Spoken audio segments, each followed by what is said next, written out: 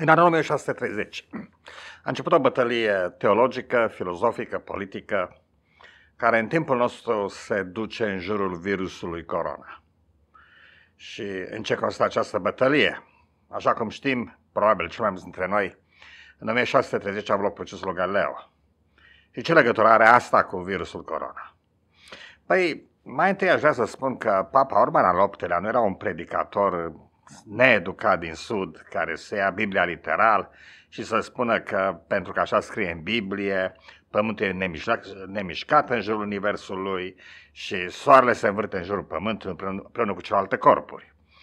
Catolicii nu erau literariști și aș vrea să spun Biserica Catolică are multe păcate, dar a fi împotriva rațiunii nu este niciun caz una dintre ele.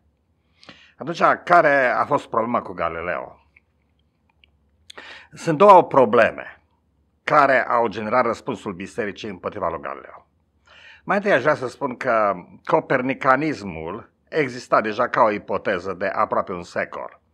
Și cartea lui Copernic a fost dedicată papei și Biserica Catolică a apreciat exercițiul de acrobație intelectuală a lui Copernic, după aceea Johannes Kepler, care era matematicianul împăratului Sfântului Imperiu Roman de limbă germană, care era catolic, Kepler fiind protestant este cel care a arătat uh, geometria eliptică a orbitelor planetelor în jurul Soarelui și a putut calcula perioada lor ca a unui pendul, să zic, care pendulează pe baza aceleiași geometrii, nu a stârnit în niciun caz uh, furia Bisericii Catolice, deși Kepler era clar în mijlocul unui imperiu catolic. De ce Galileo a simțit această reacție foarte violentă? În primul rând pentru că Galileo a arătat observații. Uh, Galileo a folosit luneta și a arătat că ceea ce se vede pe lunetă, cum ar fi faptul că Jupiter are patru sateliți, fazele lui, Zen, lui Venus, uh, munți pe lună, pete în soare, și așa mai departe, toate acestea nu se pot explica de, decât într-un sistem heliocentric. Biserica nu și-a făcut probleme atâta vreme cât heliocentrismul a fost considerat o simplă ipoteză. Însă a devenit foarte îngrijorat atunci când s-a confruntat cu faptele. Și aș vrea să spun că este ceea ce se întâmplă în, în timpul nostru. Anume, sunt fapte care sperie politicieni, filozofi și oameni ai bisericii deopotrivă. De ce era speriată biserica și numai biserica? Deci erau speriați capetele încornatele Europei, ducii și conții și baronii. De ce erau speriați filozofii de la școala din Padova, faimoasa școală din Padova, la care uh, își făceau educația și prinții noștri din, mă rog, cum ar fi uh, Constantin Brâncoveanu, își făceau educația acolo la școala din Padova. Uh, de ce ar fi fost speriați filozofii din Padova de heliocentrism? Pentru că uh, e un aspect uh, filozofic, unul teologic și unul politic. Da? Aspectul filozofic este aceea că helio, geocentrismul implică un punct nemișcat în mijlocul Universului și acest punct nemișcat este Pământul. Și asta implică o anumită filozofie. De exemplu, dacă mergi de la, de la astronomia ptolemeică înapoi la fizica lui Aristotel. Ideea este că starea normală a unui corp este repausul și mișcarea este doar un accident. Bun, atunci cine îi mișcă lucrurile? Există un agent imobil care este Dumnezeu. Și de aici ajungem la teologia politică. Și în ce constă teologia politică? Că deasupra oricărui sistem social care este într-o permanentă mișcare și schimbare, așa știm cum, cum știm cu toții, există ceva care nu se schimbă. Există un agent imobil, acest agent imobil poate fi uh, monarhul de drept divin, poate fi papa, poate fi tradiția, da, tradiția, pot fi valorile, mă rog, poate fi o anumită constituție care este considerată de inerantă și asta implică o anumită teologie politică. Acesta e aspectul filozofic. Din punct de vedere religios și politic, cele două nu se pot despărți niciodată. Spune, spunea Blahuță, nu? Minciuna stă cu regele la masă, dar asta e cam de multișor poveste de când sunt regi, de când minciuna este, duc împreună cea mai bună casă. Îmi permit să oarecare schimbare. În versul lui Vlahuță, uh, religia stă cu regele la masă. Da? Deci religia și regele la masă discută și ideea este că dacă Pământul este în centrul Universului, Pământul este un panopticum. Panopticum este acea idee de închisoare în care uh, cineva este de fapt uh, în centru și fiecare celulă are un, uh, un perete transparent. Așa că ceva dintr-un centru, un turn de veghe, care este cu lumile stinse, în orice clipă poate privi în orice celulă și vede ce se întâmplă în fiecare celulă. Este o idee care a fost avansată pe la, prin secolul XVIII, uh, secolul XIX, la începutul secolului XIX, dar a fost implementată, este implementată în timpul nostru cu mijloace electronice. Însă lăsăm asta la o parte. Uh, pământul era un panopticon. Deasupra era cerul și toți ochii cerului erau îndreptați spre pământ. De desubt erau iadul și toți ochii demonilor erau îndreptați spre pământ, spre ce se întâmplă la suprafață, ca să ne ispitească, să ne tragă în iad. Și apoi acolo la subsoare, mă rog, la suprafața pământului, lumea celor vii, uh, erai sub ochii bisericii și ai regelui și nu avea sens să te uh, răzvrătești împotriva regelui și bisericii, atâta vreme că știi că deasupra este Dumnezeu și de sub este diavolul. Nu aveai scăpare din acest univers. Bun, uh, heliocentrismul implică o evadare din acest univers. Uh, pentru că dacă te uiți deasupra și îți dai seama că totul este în mișcare mai întâi, nimic nu este imobil. E relativitatea galileană după aceea îți dai seama că Pământul este doar o planetă printre alte planete și Soarele este doar o stea printre alte stele. Și totul se mișcă conform legilor mecanicii. Nu există nicio providență specială care a așezat Pământul aici în centrul Universului. Dintr-o dată, perspectiva filozofică se schimbă. Și atunci te întreb, dar stai puțin până la urmă, de ce să fiu eu supus regelui bisericii, tradiției, valorilor, familiei eventual, uh, mă rog, brațul invizibil al pieței care pe mine mă face să sufăr, 1% prosperă, 99% suferim, în sfârșit, din cauza brațului invizibil al pieței. Uh, după aceea, de ce să fiu supus uh, unei Constituții, ah, care este bună, dar în ultima instanță poate fi interpretată nu poate fi adaptată la timpul noi și așa mai departe. De ce să fiu supus la toate acestea? Pentru că Universul cel mare este indiferent în ultima instanță față de noi. Suntem doar o parte din Univers, la fel cum sunt și alte părți din Univers. Nu este nimic special în a fi pe pământ sau în a fi om, cum vom vedea mai târziu.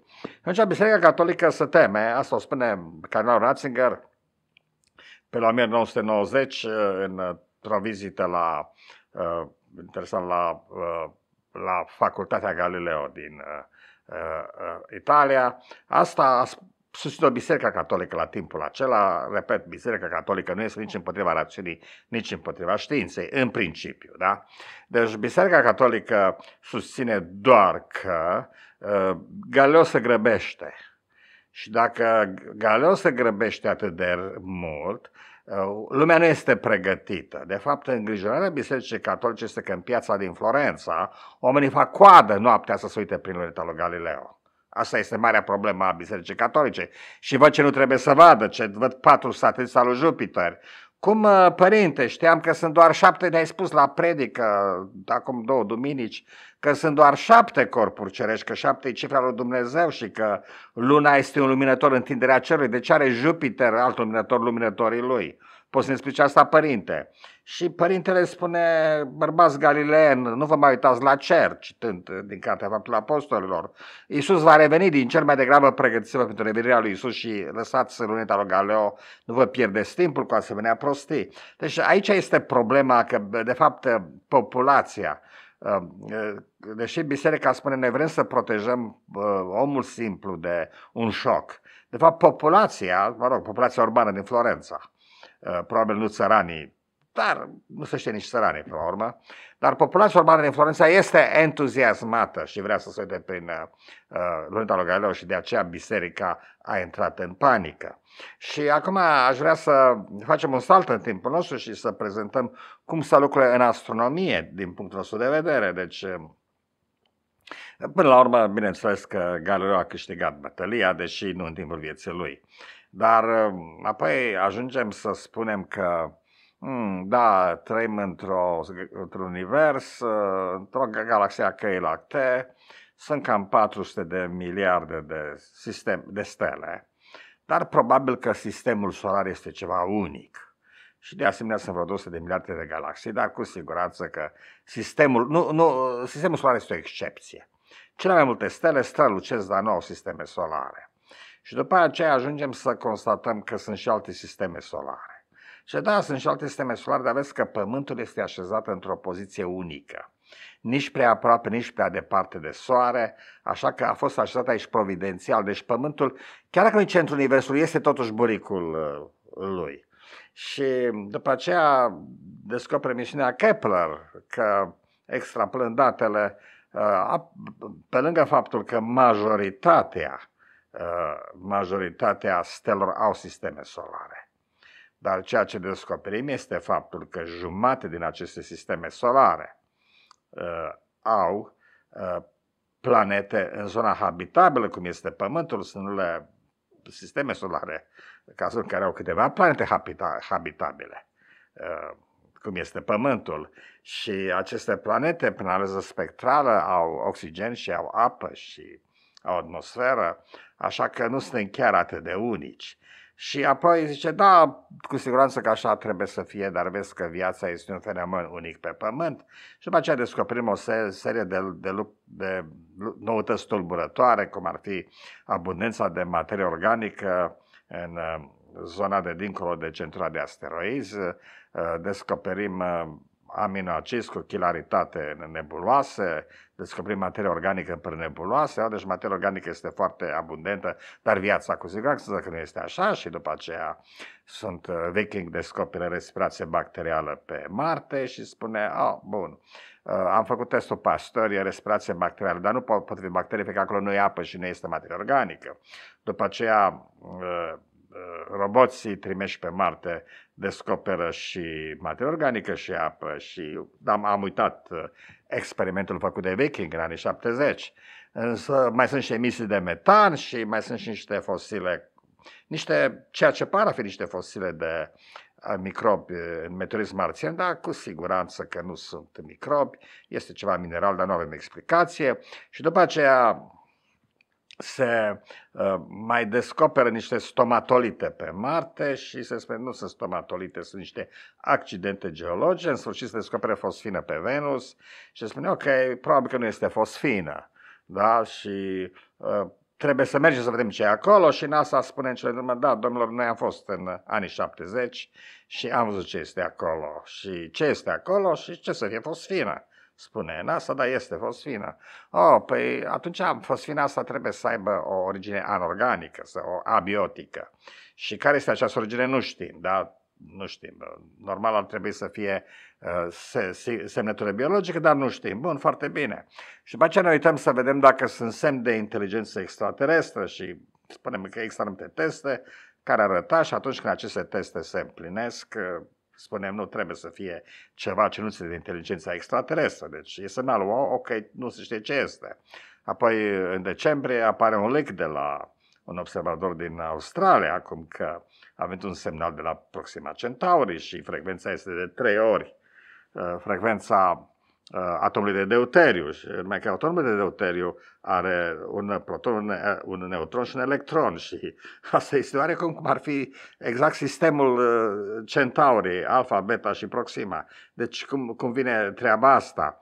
Și uh, semnalul acesta nu poate fi, ne spun toți oameni de știință, nu poate fi decât de origine tehnologică, dar nu poate să fie de, de, la, de, de la Proxima Centauri.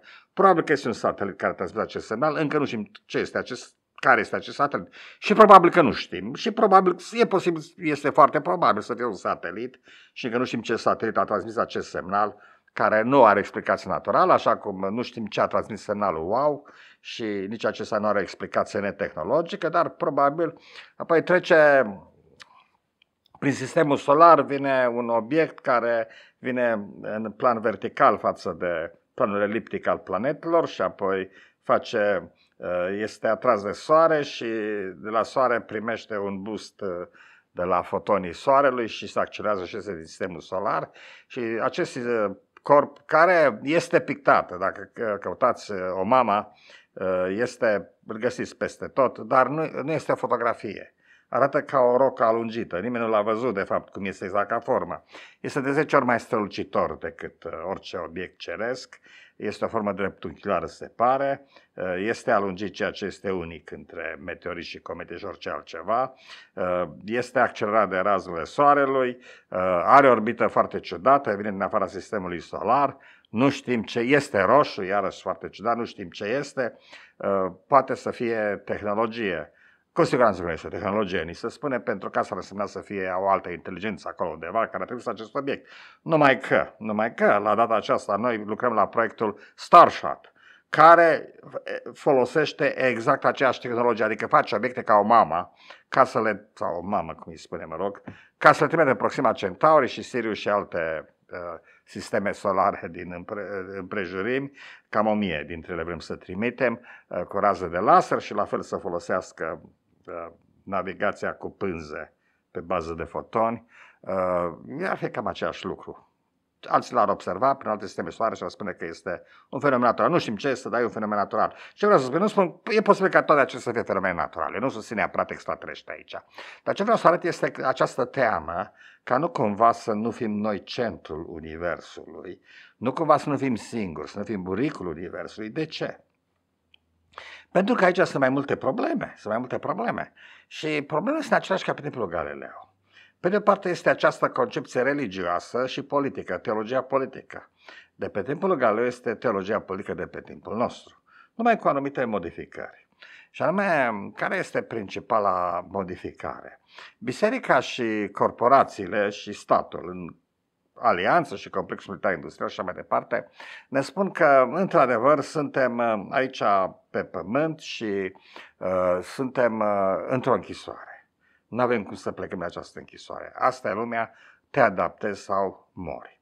Și toți acești oameni ne spun deci că trăim într-un panopticum și că dacă uităm la univers, Uh, universul, da, este mare și nu suntem chiar în centrul Universului, dar într-un anumit sens noi suntem centrul Universului, noi suntem tot ce există, ca viață, ca gândire inteligentă și mai ales ca legi economice uh, și politice și ca tare trebuie să te supui. Problema nu este că ai putea să scapi, să zic, undeva în Proxima Centauri sau știu eu ce, ca în Interstellar, nu știu ce galaxie la 30 de milioane de ani lumină. Problema este că ai putea să te gândești la ideea aceasta că poți să ieși din această închisoare, să te gândești că în ultima instanță uh, ceea ce trăiește nu sunt legile Universului. Și care este, hai să ne uităm, de gândim, care este teologia politică a timpului nostru? În timpul nostru, brațul lui Dumnezeu este mâna invizibilă a pieței. Da? Deci, la data aceasta, în teologia politică predicată de bisericile evanghelice, de, de Papa Ioan Paul al II-lea, mai puțin Francis I, deși nici el nu chiar așa departe, de Casa Albă, de John Biden, uitați pe Trump, de Joe Biden și Casa Albă, democrați și republicani în România peste tot, uh, Ceea ce, uh, ceea ce caracterizează această teologie politică este o credință fermă. Indiferent dacă, dacă ești uh, bigot sau ateu, predicator sau politician, este această credință fermă că mâna invizibilă a pieței este brațul lui Dumnezeu la propriu său figurat. Este legea supremă a Universului și nu poți ieși din ea. Uh, ideea că ar putea să existe alte lumi, alte forme de viață, alte forme de civilizație, de organizare a societății, în afara planetei noastre este periculoasă. Nu pentru că am putea evada și cere azil politic în nu știu ce sistem solar, nu. Ci pentru că ne-am putea imagina că poate exista altceva decât există aici pe Pământ. Și aici observați un lucru și vreau să menționez uh, un anumit dialog din uh, cartea The Three Bodies Problem. Uh, anume că în ultimul timp toate SF-urile vor să susțină o anumită idee distopică. Ce caracterizează toate SF-urile din timpul nostru, zic toate fără excepție? Ideea că în viitor vor fi lucruri rele sau bune, ok. În cel mai bun caz vor rămâne ca acum, dar de regulă vor fi, ideea este că vor fi mai rele. Nu pot fi mai bune decât acum. Toate SF-urile pe care le face Hollywoodul care se publică în cărți susțin distopii cu privire la viitor și nu sunt hard science, sunt mai ales dramă și sau opera și așa mai departe uh, și horror. Dar ce ne susține aceste SF-uri este să nu cumva să ne imaginăm că, că viața poate fi altfel. Luați chiar Tribody's Problem pe care l-am recomandat și este într-adevăr un SF foarte bun. Și ideea este, până la urmă, pădurea întunecată, The Dark Forest, anume tot universul este într-o continuă competiție pentru resurse și e un darwinism social extrem în tot universul. N-ai cum să scapi. Adică tot universul este o proiecție a societății noastre și n-ai cum să scapi din această societate. Așa că nu mai încerca să te gândești cum să scapi din această societate. Dacă nu-ți place Trump, alege-l pe Biden. Dar și asta este totul. Bun, acum, faptul că cineva se poate gândi că pot exista alte forme de viață și alte lumi și alte forme de civilizație, îl poate duce la ideea că noi putem fi altfel.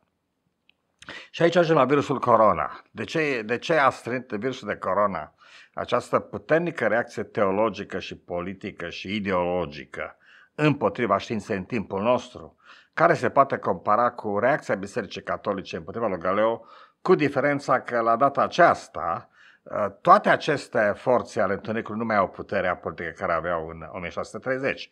Deși, așa cum am văzut, uh, Casa Albă a susținut aceste forțe reacționare. De ce? Aici este o problemă foarte interesantă, anume, mă uit în România și vreau să trec la ceea ce văd în România și mă uit la postul Speranța TV. Și ce observ este că aceiași tipi, mă rog, ignoranți, semi-analfabeți, foarte religioși, care dau bine pe sticlă în general, cravată de brand, costum uh, scump, uh, uh, figuri așa pe lavon. Toți acești tip predicatori care apar la Speranța TV și contrazic oameni de știință și savanți cu impertinență, toți acești tipi, până să apară epidemia virusului, de, virusului corona, duceau un război puternic împotriva lui Darwin, ziceau ei. Și de ce acest război împotriva lui Darwin? Ok, când a apărut uh, teoria lui Darwin. Ce a avut nou teoria lui Darwin? Uh, te- ideea evoluției nu era nouă, cât de puțin atunci când Darwin a plecat în expediția lui pe Beagle. Și în niciun caz când a publicat originea speciilor, peste 20, un sfert de secol mai târziu. Nu. Ideea evoluției era, era deja din secolul XVIII, ca să nu spun că exista deja la greci. Uh, și pe undeva era normală. Numai că ce face Darwin și Wallace, de altfel, sunt doi. Independent unul de altul, Wallace în Indonezia, Darwin călătorind în jurul lumii. Ce fac ei aduc anumite observații care arată că în mod clar nu pot să explica biodiversitatea geografică a speciilor și mai ales uh, relația între biodiversitatea speciilor pe pământ și fosilele, care diferă de la un loc la altul, uh, decât prin evoluție. A doua problemă este că atât Darwin cât și Wallace au descoperit că există un mecanism al evoluției numit selecție naturală. Și pentru prima dată evoluția, ideea de evoluție nu este doar filozofică, ci este științifică. Bun, interesant că publicul a primit-o cu entuziasm. Uh, în 1852, când Darwin a publicat Originea speciilor, lumea era cea mai civilizată decât în timpul nostru. Oamenii nu stau pe tren cu un, cu un smartphone să tot să dea cu degetul pe ecran și să uite la tot felul de tâmpenii. Nu.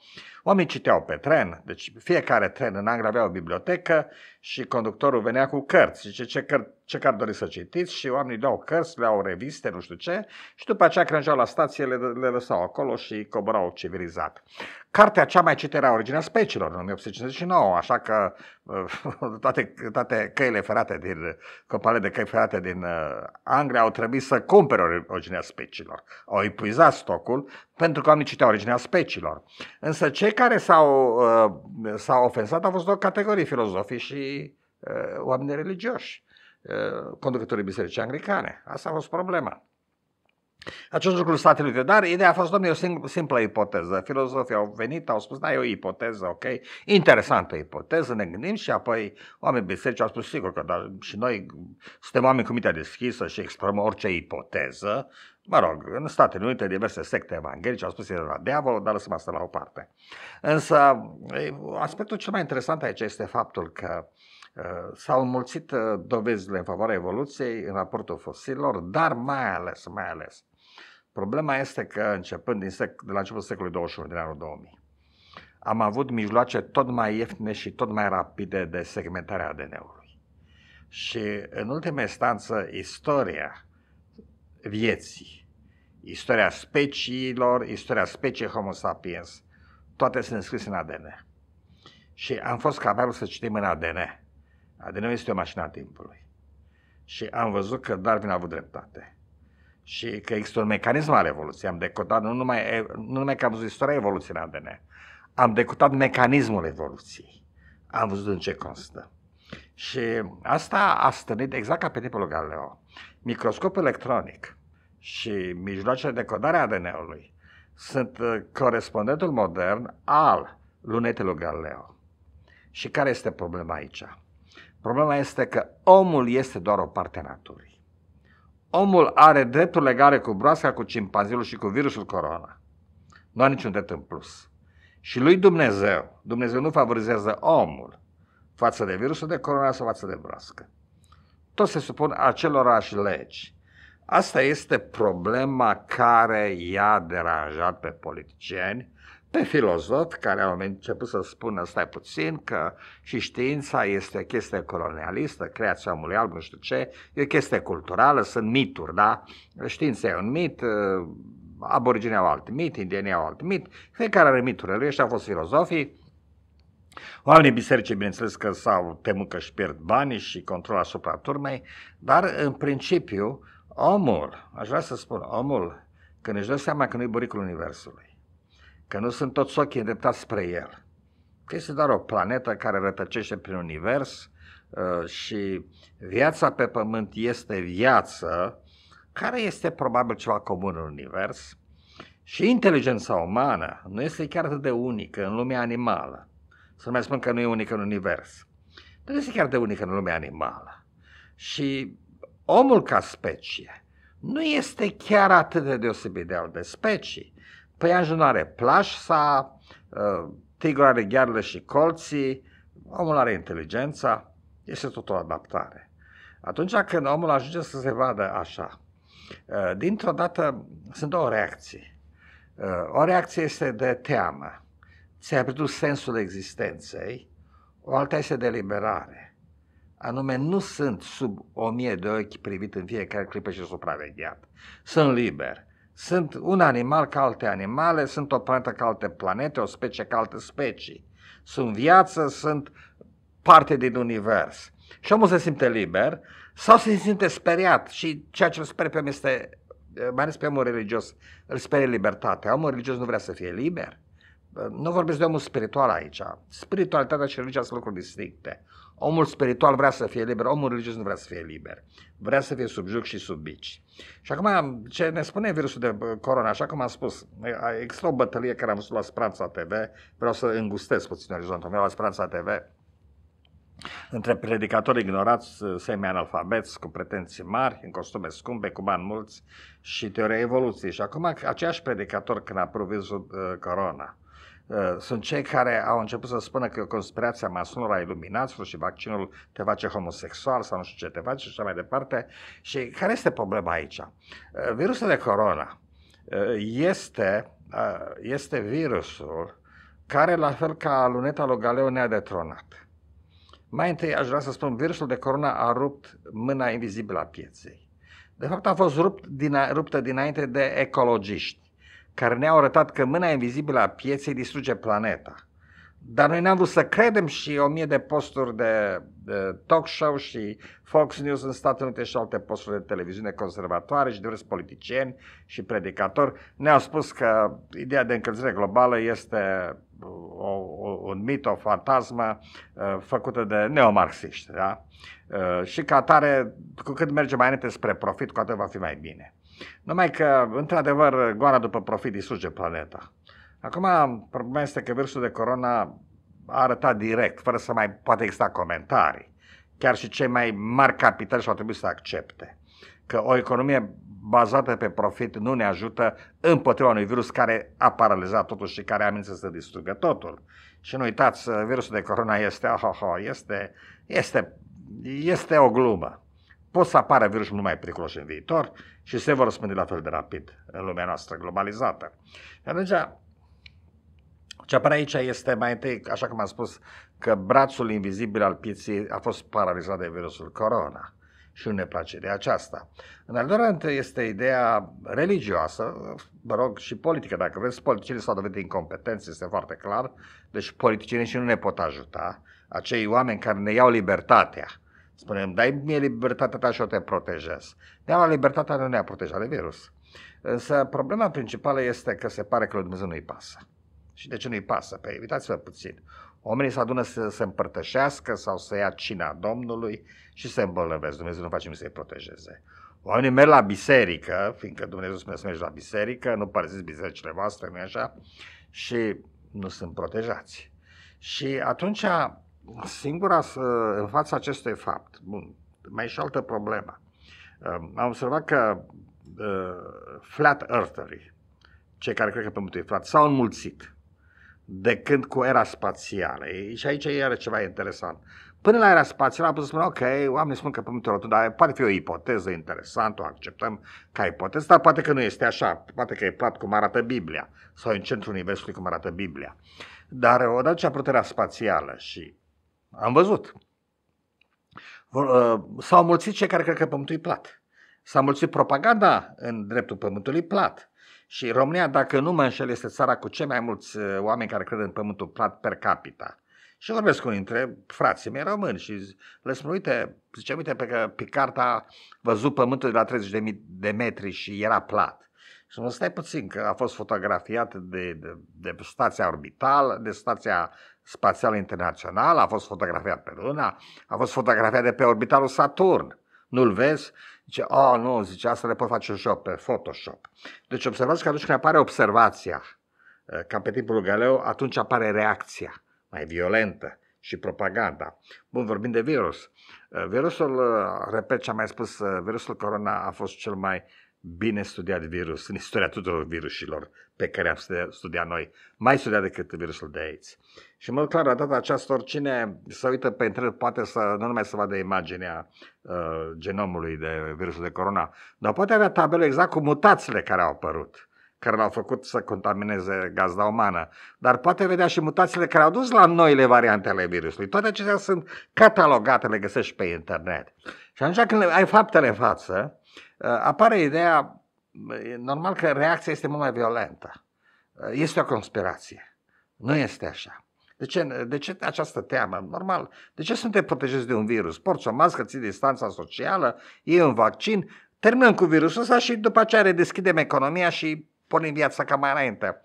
Pentru că nu putem accepta ideea că pe pământul acesta, în universul în care trăim, în calea lactee, în sistemul solar, calea lactee, universul acesta cu 200 de miliarde de galaxii, cel puțin, 90 uh, de miliarde de ani lumină diametru, în acest univers, uh, noi și virusul de corona, de fapt, avem drepturi egale. Nimeni nu judecă între noi și virusul de corona. Nici măcar că merge la biserică. Sau că vreți să facem business, să, uh, economia de profit, sau dacă vreți, ca să nu aveți impresia că loveți doar în dreapta, ai să loveți puțin și în stânga. Când ești la o demonstrație cu Black, Black Lives Matter, pentru împotriva violent, brutalității poliției, motivat rasial sau rasist, nici atunci nu ești protejat de infecția virusului de corona. Virusul nu-i pasă și nimeni, nimeni nu-i pasă. Ă, asta poate să aibă, ducă la două concluzii. Una este că ne-am pierdut sensul existenței. Avem nevoie de un stăpân, avem nevoie de, mă rog, o anumită închisoare, să fim la mijloc, toți ochii să, fim, să fie pe noi și atunci ne simțim în siguranță.